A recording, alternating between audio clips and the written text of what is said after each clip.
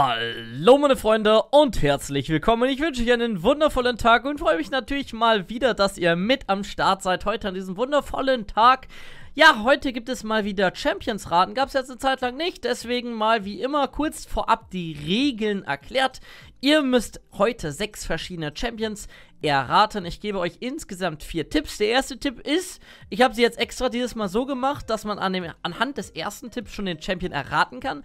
Aber er ist sehr fade, sehr, ja, da ist nicht so viel Fleisch dran. Er ist, ja, sehr undurchsichtig, muss man sagen. Wenn ihr schafft, an diesem schon den Champion zu erraten, bekommt ihr vier Punkte. Beim zweiten Tipp bekommt ihr drei Punkte. Beim dritten Tipp bekommt ihr zwei Punkte. Und wenn ihr es schafft, mit dem vierten Tipp, dann, der ist meistens, ja, sehr aufdeckend, dann den Champion zu erraten, bekommt ihr einen Punkt. Ihr könnt dann natürlich mitschreiben oder euch merken, wie viele Punkte ihr mit der Zeit habt und könnt am Ende mal gucken, wie viele ihr so zusammengekriegt habt. Wichtig hierbei ist, ihr dürft nur einmal raten. Wenn ihr sagt, okay, ne, ich sage, es ist der Champion, dann könnt ihr natürlich danach nicht nochmal sagen, da müsst ihr fair an euch sein. Wer mogelt, verliert. Alles.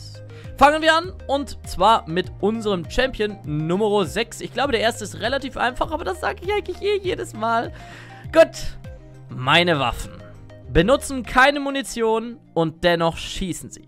Oh mein Gott, ist das leicht. Holy shit, also, also ein heilige Scheiße ist das leicht. Aber ich denke mir immer so, es gibt halt so viele Champions und vielleicht kommt man nicht direkt auf diesen Champion. Aber Leute, wenn es zu leicht wird, dann sagt es einfach mal. Gehen wir direkt weiter zum zweiten Tipp. Sie ist so hell, dass sie so, dass sie sechs Sekunden lang Sicht gewähren kann. Ja, Sicht ist, wenn die Augen über dem Ziel ist, sind und man das Ziel quasi immer noch sehen kann, selbst wenn es eigentlich verdeckt worden wäre. Tipp Nummer 3.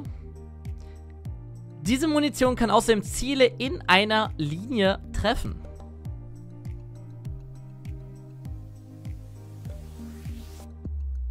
Also es ist schon ziemlich einfach, wenn wir wirklich ehrlich sind. Tipp Nummer 4. Bald kommt meine Frau auch noch dazu. Also ich gehe mal davon aus, dass es seine Frau ist. Ich bin mir fast sicher. Ja, ich gebe euch nur mal drei Sekunden. Zwei. Eins. Okay. Ich denke, dieser Channel war halt super einfach, wenn ich es jetzt mal so im Nachhinein überlege. Aber wie gesagt, schreibt es gerne in die Kommentare. Ihr könnt natürlich am Ende auch sagen, ja, hey, war zu einfach, war zu schwer. Das ist natürlich Lucian. Er hat ja so Staubsauger in der Hand. Damit kann er quasi schießen, ohne dass direkt irgendwie pa Projektile, Patronen oder irgendwelche ne, Munition verschossen wird. Und die W, dieser Stern, den er schießt, die ist tatsächlich, ja, es ist so hell. Es gibt sogar 6 Sekunden lang Sicht. Das wusste ich selbst sogar gar nicht, dass man da Vision auf den Gegner aufbauen kann. Das ist ganz cool. Damit kann man echt gut dann in den Busch rein face checken. Ja, die Q kann natürlich Ziele in einer Linie treffen und Senna, wahrscheinlich seine Frau, kommt ebenfalls bald dazu. Champion Nummer 5. Ich bin ein Champion, der dort auftaucht, wo du ihn am allerwenigsten haben willst. Sind wir ehrlich? Wenn man richtig viel Fantasie hat, können das vielleicht schon einige sein. Da muss man vielleicht ein bisschen gamblen, aber na, mit dem einen oder anderen richtigen Gedanken könnte man hier vielleicht auf den richtigen Champion kommen. Es ist possible. Meine Freunde, es ist possible. Akzeptiert es bitte. Niemand hat gesagt, dass es leicht wird. Also außer beim ersten. Ich halte meine Waffen immer so, dass sie nach hinten gerichtet sind. Das ist natürlich auch was, achtet ihr darauf, was die Champions machen, wie sie aussehen? Die meisten spielen sie einfach, aber kennt ihr euren Champion? Ich kaufe meine Schminke stets bei Tobis Beauty Palace. Jetzt im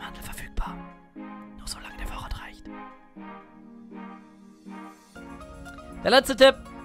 Ich verursache von hinten mehr Schaden.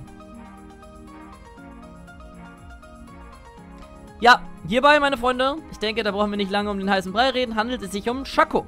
Ne? Er taucht dort auf, ich meine auch dieses Auftauchen, ne? das heißt ja, er ist plötzlich da. Das ist ja schon mal ein Indiz, wo du ihn am allerwenigsten haben willst. Ich denke mal, ja, vor dir willst du ja einen Gegner potenziell haben, hinter dir nicht unbedingt. Deswegen sind da schon Indizien und gibt es wirklich Champions? Ihr könnt ja gerne sagen, an welchen Champion habt ihr gedacht? Ne, das würde mich interessieren, das hilft mir auch immer, ne, euch zu verstehen, damit ich, ich muss ja irgendwie diese Rätsel machen, aber, ne, er hält seine Waffen tatsächlich immer so nach hinten, das ist so ein bisschen komisch, aber er kann damit irgendwie ganz gut fighten und kämpfen Und ja, er schminkt sich natürlich super krass. Er ist ja so ein Clown. Er hat ja sein Gesicht stets weiß geschminkt. Und er verursacht von hinten mehr Schaden. Den ersten Champion, den habe ich mal... Ich habe einfach mal eine Charakterbeschreibung gemacht. Und dann könnt ihr mal schauen, ob ihr drauf kommt. Ich würde sagen, es ist nicht schwer, aber schauen wir mal. Tipp Nummer 1. Ich habe grau-weiße Haare. Also okay, das können jetzt wahrscheinlich mehrere sein. Da müsst ihr dann vielleicht raten. Oder braten. Tipp Nummer 2. Ein schwarzes Cape. Ein Cape für alle, die jetzt nicht, hey Tobi, Cape, was soll das sein? Das ist quasi so ein Ding, was man über den Kopf hat. Sowas wie ein Hoodie. Ja, so ein, ne, dann, du, ne? Und trotzdem aber noch hinten wie so ein Umhang. So ein Hoodie-Umhang quasi.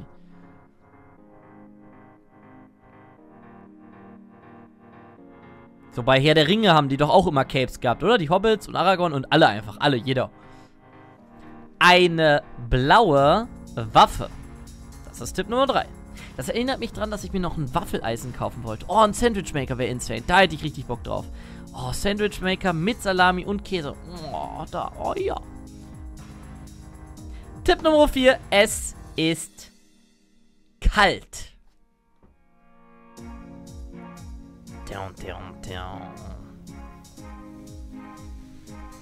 Damit haben wir diesen Champion auch abgehakt. Und zwar ist das nämlich Ashy. Oder auch Ash. Oder auch Asche.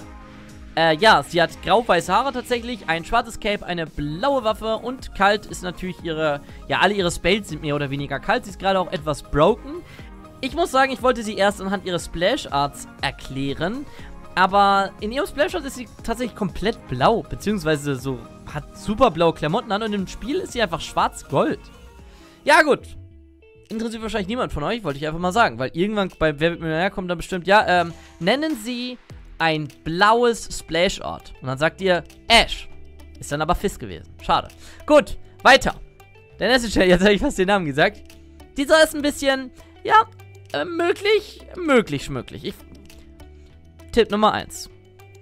Es trifft dich wie ein Wespenstich und schmerzt dann eine Weile. Immer wieder.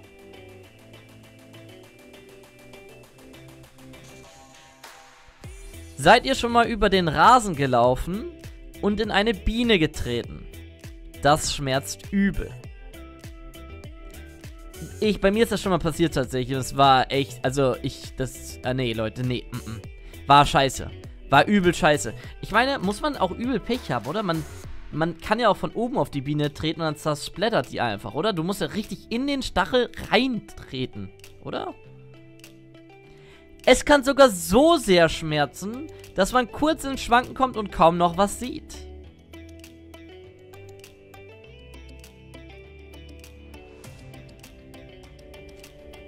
Tipp Nummer 4. Jeder hasst Wespen. Ich glaube, das ist halt legit, oder? Also ich habe mich ein bisschen aus dem Fenster gehoben damit, aber jeder hasst Wespen. Oder gibt es irgendjemanden, der sagt so, ja, nee, Wespen sind voll cool. Ja, bei diesem Champion handelt es sich tatsächlich um Timo. Es trifft ein Wespenstich und schmerzt immer wieder. Ist natürlich alles so ein bisschen eine Hinleitung auf Bimo, muss man sagen. Aber auch wenn er dich ständig mit seinem Spuckrohr, das ist ja, das ist, sind so Pfeile, sind ja wie, ist so wie so ein Stich, der dich trifft und immer wieder, immer wieder, er macht wieder pff, pff, und es schmerzt, weil es dottet, dottet, es macht immer wieder Damage. Ja, und das mit dem über den Rasen laufen ist so eine Hinleitung. Ich weiß nicht, ob ihr drauf gekommen seid. Ich denke mal, ihr habt einfach an Biene gedacht. Biene, Timo, Bimo. Aber ja, ihr lauft durch die Kluft und lauft über eine Biene, also einen Timo-Pilz und explodiert und das schmerzt wie Sau. Ja, und manchmal, er kann natürlich auch blinden, dann sieht man kaum noch was und jeder hasst Wespen und jeder hasst Timo.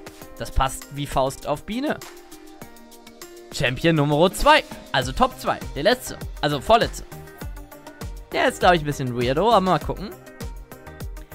Unter gewissen Umständen werde ich stets verfolgt.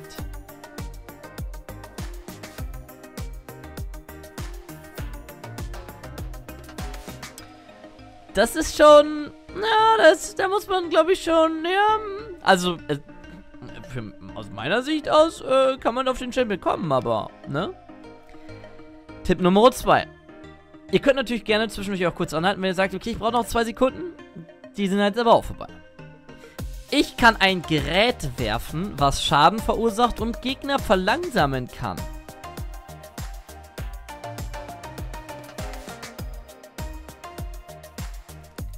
Tipp Nummer 3.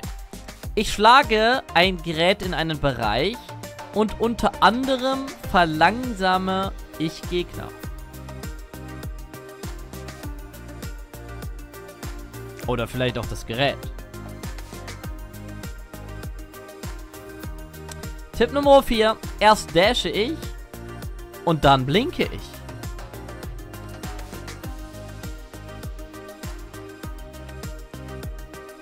Dö, dö, dö, dö, dö, dö, dö. Okay, meine Freunde, hierbei handelt es sich um Echo. Ja, er wird von seinem Klon stets verfolgt, unter gewissen Umständen. Sobald er seine Ultimate geskillt hat, läuft er ihm ständig hinterher. Und das mit dem Gerät, muss man sagen, auf LoLwiki steht tatsächlich Device. Ja, er wirft ja auch irgendeinen so Fluxkompensator. Er wirft ja irgendeinen so Scheiben, keine Ahnung was für ein Teil und das slowt den Gegner.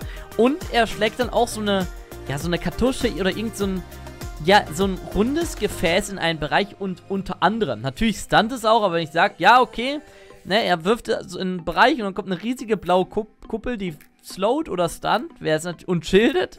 Ja, das ist natürlich ein bisschen too much gewesen. Ja, und seine E ist natürlich, dass er dasht und blinkt. Und damit, meine Freunde, kommen wir zur Platz Nummer 1. Den, ja, wahrscheinlich, ja, er ist schon schwierig. Ich glaube, er ist schon schwierig. Lass mal, lass mal einfach sagen, er ist schwierig. Und vielleicht sagt ihr dann, nee, Tobi, der war voll einfach. Gut. Tipp Nummer 1. Ich bin immer auf der Suche nach neuen Freunden. Tobi, Tobi, das ist Amomo. Stopp, ich bin noch nicht fertig. Denn sie verstärken mich. Oh mein Gott, ist das einfach. Aber okay.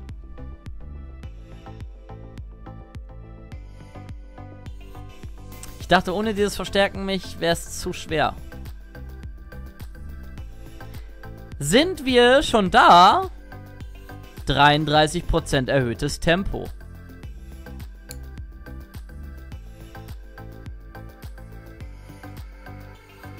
Tipp Nummer 3.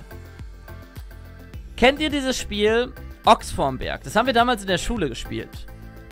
Da ist eine Person am Hallenende und immer, der muss sich immer umdrehen und zählen oder irgendein so Lied singen oder irgendwie sowas aufrufen.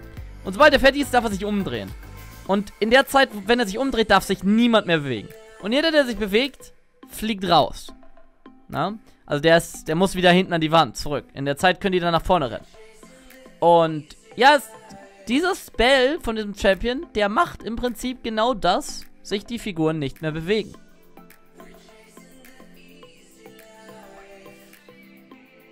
Oh mein Gott, ist das einfach. Okay, und der letzte Tipp, machen wir es jetzt mal feindlich fertig hier. Meine Maske gleicht einer Steckdose. Ich denke, damit ist alles gesagt. Wir haben hier Bart. Ja, er sucht natürlich die ganze Zeit seine Meeps und sie verstärken ihn. Ne? Das ist, da ist er immer auf der Suche. Sind wir schon da? Das ist so, wenn mehrere Leute durch das Portal reisen und die werden um 33% schneller gemacht. Und seine Ultimate, die macht natürlich, dass alle Gegner eingefroren werden.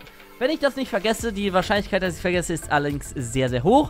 Da könnt ihr oben rechts jetzt eure Punkte angeben, wie viele Punkte ihr geschafft habt. Ihr könnt mir jetzt sehr, sehr gerne sagen, hey, Tobi, das war viel zu einfach oder hey, Tobi, das war viel zu schwer. Und Tobi, das Video war wahrscheinlich auch viel zu lange. Ich habe muss ich ehrlich sein, viel zu lange um den heißen Brei geredet, aber wir haben auch jetzt gerade 0.15 Uhr bei mir.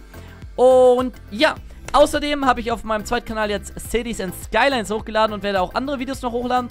Weiß ich noch nicht genau was, könnt ihr gerne sagen. Wenn ihr da Bock habt, schaut doch einfach mal auf meinem zweiten Kanal vorbei. Da, es wird fantastisch, meine Freunde. Ich wünsche euch einen wundervollen Tag, eine wundervolle Nacht, einen wunderschönen guten Morgen oder was auch immer ihr habt. Ich habe euch lieb. Vergesst das niemals. Auf Wiedersehen und tschüss.